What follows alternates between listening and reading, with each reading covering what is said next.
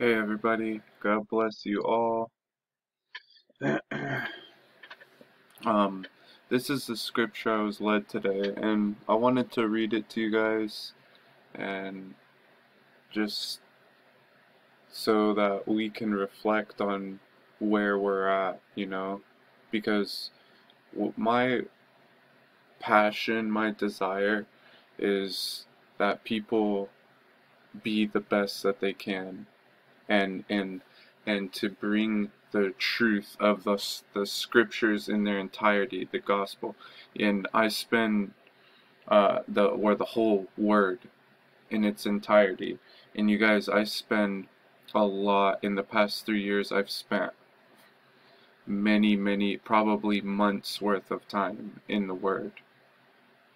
I've read most all of the Bible besides like maybe one book or maybe two books and I've read all the other books. I've read them multiple times.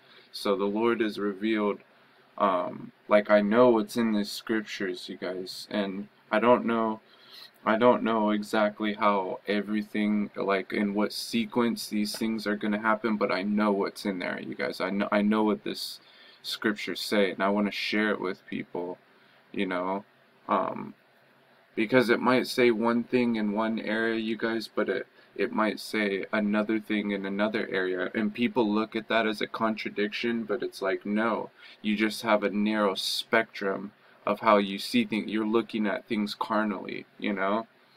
And so I want to share like I want people to go into the kingdom first and foremost, but I want to share what what the Father's revealed to me.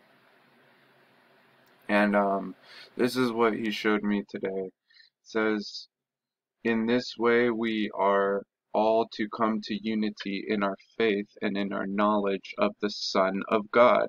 Okay, so Yeshua or Yahusha came here to earth, you guys, to show us how to live. That was God in the flesh he came here to show us like hey you guys if you do this this and this you're going to become a perfected creature. Now it's not you know we weren't Yahushua or Yeshua so we can't be without flaw right? But that's not what God that's not the Hebrew meaning uh, of perfect and that's not what God when God says perfect it's not what it me it, means. It doesn't mean without a flaw, you guys. Okay? When it said that, like uh, Moses walked per or not Moses, but uh, Abraham or or one some of the one of our forefathers, he said that he walked perfect. It's not because he didn't sin. Okay? And I'm gonna show that in a minute.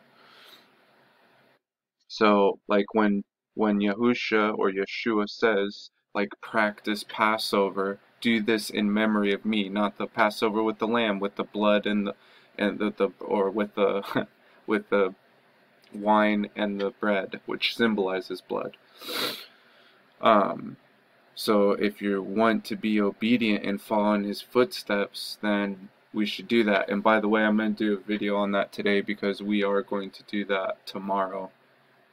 Um, so um, yeah, you guys, we it's a decision to follow in Jesus's footsteps or Yeshua's footsteps. Okay, it's it's it's a decision. It's a decision not to sin. Okay, the only thing that we can't um, control, you know, is this antenna. Sometimes thoughts come into our head, you know. So until we become the perfect man perfect man, you guys. Okay? And remember, perfect doesn't mean without flaw. It just means the goal. It means keep pressing forward, you know? Fully mature with the fullness of Christ Himself.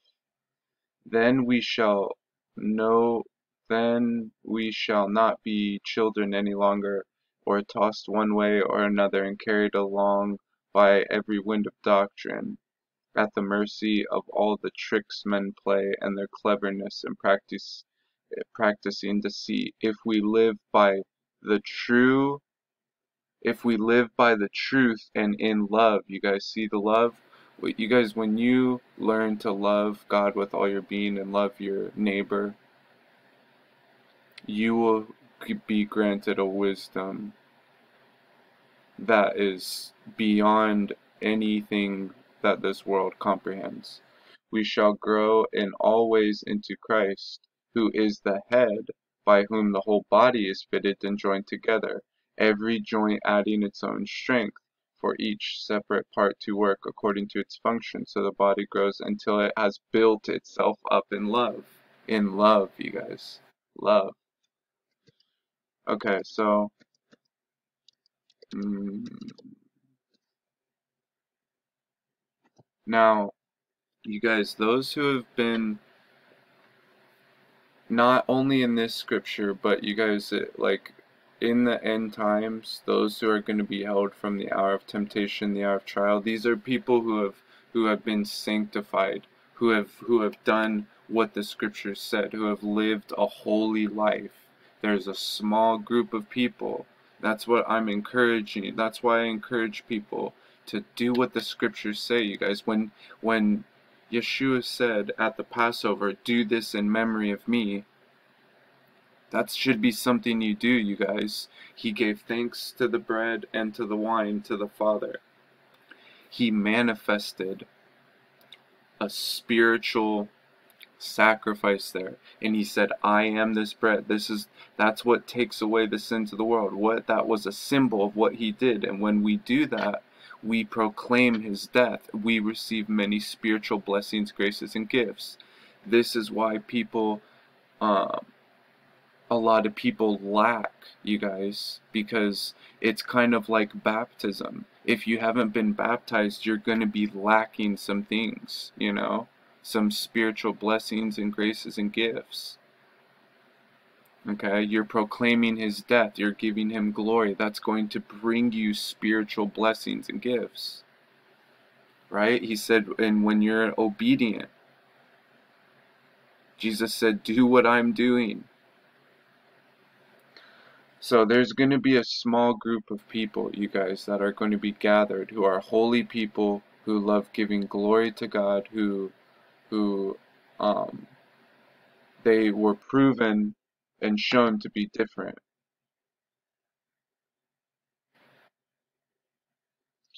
And ye shall eat fat till ye be full, and drink blood till ye be drunken of my sacrifice, which I have sacrificed for you. Thus ye shall be filled at my table with horses and chariots, and with mighty men, with all the men of war, saith the Lord God. And I will set my glory among the heathen. Okay? And I will set my glory among the heathen, and all the heathen shall see my judgment that I have executed. It's talking about the end times judgment, you guys. And my hand that I have laid upon them. So the Lord so the house of Israel shall know that I am the Lord their God from that day forward, and the heathen shall know that the house of Israel went into captivity for their iniquity, because they trespass against me. You guys, that's why we are dispersed away from the promised land. Okay? That's why we're that's why we're not all all of his children, spiritual or literal, that's why they're not all over in the promised land or near it even we got scattered uh, abroad uh, throughout the whole world because of our sins, because our forefathers transgressed. Okay? That's why we're under oppression right now.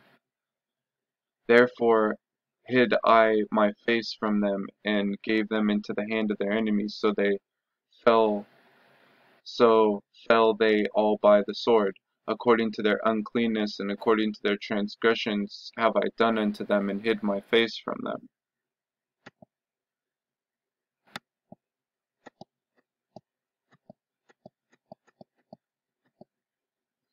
Therefore thus saith the Lord God, Now I now will I bring again the captivity of Jacob, and have mercy upon the whole house of Israel, and will be jealous for my holy name. After that they have borne their shame and all their trespasses whereby they have trespassed against me when they dwelt safely in their land, and none made them afraid.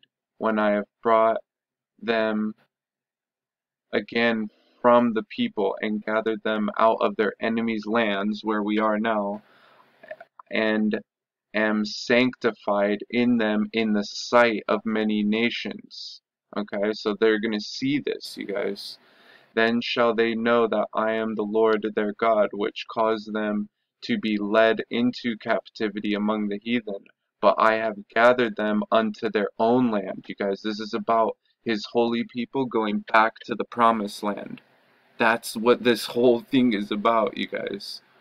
He's going to deposit his glory and, and show the world, just like when Jesus was transfigured on the mountain, you guys. He was showing that to the, the disciples because he knew the trials, the tribulations, and the things that they were going to go through um, through the, the after during the cross when he was crucified and after and how much shame that they're going to feel so he was showing them a good thing like this is what you had to edify them right? That's what he's going to do with his holy people and this time he's going to do that again but with his holy people. He's going to glorify them to show the other people this is kind you know this is how my people are rewarded. So that it encourages them for for when they go through the worst the great tribulations but that doesn't mean you guys they're not going up into heaven. That's not when when it talks about the rapture you guys that's something completely different. It's not about going to heaven. They're going to be taken to the mountains okay? And have left none of none of them any more there. Neither will I hide my face from them for I have poured out my spirit upon the house of Israel saith the Lord now you guys I don't mean to um like that's the that's not the only scripture where it talks about this gathering okay there's many if you just go to this website Bible um whatever I forgot what it's called a Bible website and type in the word gathered or gather, you're going to see that throughout the whole Bible, there's going to be a holy people gathered together. Okay? So that's what I'm encouraging everybody to do to seek the Lord, repent. The day of the Lord is at hand. Seek the Lord with all your heart. Do what it says in the scriptures. Pray, you guys. Live a holy life and give him all your heart. Love God with all your heart and love your neighbor, and you will be there. Um, and there's some good Christians, you know, that, that aren't going to be there, you guys. They didn't do that. You know, it doesn't mean they're bad people. It just means that they're going through tribulation and they're going to, um, you know, they're, they have to be, they have to go through other things to come into that land. Um, now, okay, so I have two minutes left on this, but it says in the book of Daniel, chapter 9, you guys, uh, when I was talking about being perfect, okay, this is Daniel, and he was also called, uh, the angel, uh, Gabriel called him, referred to him as the son of man. So there's, there's different sons of man, you guys, besides Yeshua. Okay, there's, there's uh, several at least a couple I know. It says, For you, it says in Daniel 9, For your own sake, Lord, let your face smile again on your desolate sanctuary. Listen, my God, listen to us. Open your eyes and look on our ply and on the city that bears your name. We are not relying on our own good works, but on your great mercy. So when I'm talking about living a holy life, repenting, and doing those things, you guys don't get it twisted. I do not, I know that that's not what makes, that's not what justifies me. I do that because I love Abba and he tell he he tells me to do those things. He he says that's what pleases him. Okay? And I do it out of the free will of my heart. He's not forcing anything. It's because out of the free will out of my heart that I love him and show him that. That's not what that's not what uh, makes me saved.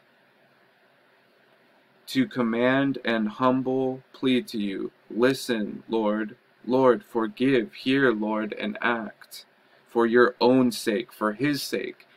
He's going to gather us together for His holy name, not because of what we did.